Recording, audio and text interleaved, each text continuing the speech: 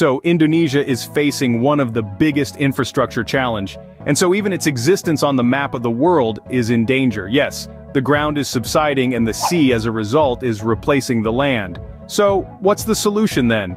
Well, Indonesia is considering building a massive seawall along the northern coast of Java to save the island, particularly its largest city, Jakarta, from sinking and eventually being submerged.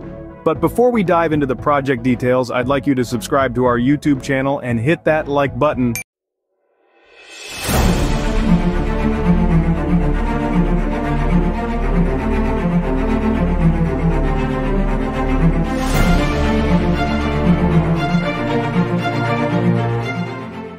So the news is that critics have warned spending such a hefty price of 60 billion US dollars on this project would only aggravate the ecological and social crisis in the region.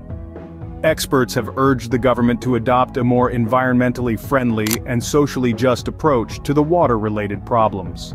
If you're new to this fact, let me tell you an interesting fact parts of Jakarta sink up to 25 centimeters annually because of excessive groundwater extraction and urban development. So to stop that, they need to build the giant seawall to stop the land from sinking and the sea from flooding, which keep happening all the time. If it comes to fruition, the project would include the building of a 120 km, 74.5 mile coastal and river dike by 2030, and an adaptive seawall to the west and east of Jakarta by 2040, before closing the seawall with a reservoir by 2050. So, now let's try to explore and let's find out the reasons why Jakarta is sinking. You know what the rate with which the Jakarta is sinking is exceptional. As per one estimate, we got the figure that it has subsided by approximately four meters since 1970. I mean, four meters. That's a horrible figure, Let's say if you've got a house of over one story, you might already be under the water if you'd be living in the same place. But why is it so? I mean, why, after all, Jakarta is sinking? Let's find out. Well, Jakarta has got a significant problem of water for residents. So, the only source they've got is to use the groundwater for their everyday life. And you know what? The groundwater is a thing that's got that pushing force making Earth stable. So once the water is out, the land starts to sink. So that means all the houses and the buildings in that region starts going down by a marginal number, but over time it goes big. Similarly, the surface water got the obstacle and doesn't find a way to reach the ocean, and resultantly, we got huge flooding. The Jakarta City Administration's target is to finish the first phase of a program to build coastal embankments under the National Capital Integrated Coastal Development Project by 2027. To your surprise, they've already done a part, a 13 kilometers, 10.6 miles, of the planned 46 kilometers, 28.5 miles of the embankment have been constructed.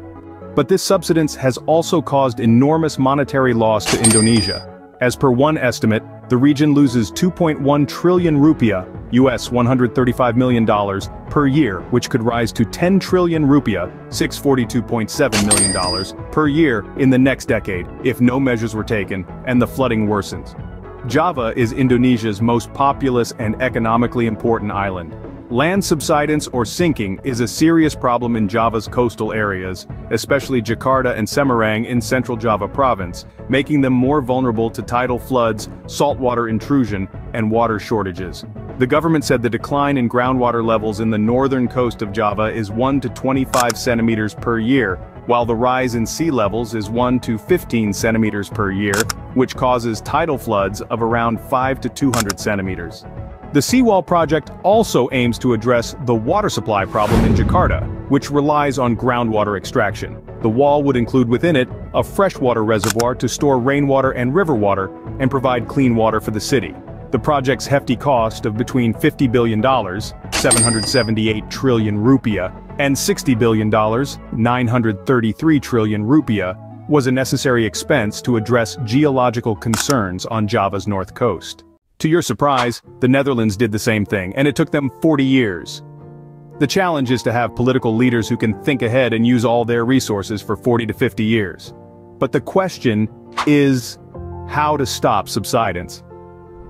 Well experts are saying that it is also important to prevent groundwater extraction. They're of the view that they must also emphasize on how to stop subsidence. While the government is considering the seawall project, it is also moving ahead with another ambitious plan. Relocating the national capital from Jakarta to a site within the jungle of East Kalimantan on Borneo Island. There was a plan in 2019 to build a new capital 1,300 kilometers 800 miles from Jakarta, citing the city's chronic flooding and traffic problems as the reason. Construction of the new city, called Nusantara, has begun. Government officials said Nusantara will be a sustainable forest city that puts the environment at the heart of the development and aims to be carbon neutral by 2045. Some experts on Wednesday suggested more environmentally friendly alternatives to reduce tidal floods. The idea of building a gigantic seawall in Jakarta was first proposed in 2010, but it faced opposition from some environmental groups and local politicians, who argued that it would disrupt many livelihoods and damage the marine ecosystem. The experts believe that the main cause of land subsidence in the north coast was uncontrolled groundwater extraction caused by a limited supply of clean water and high demand for buildings and industry.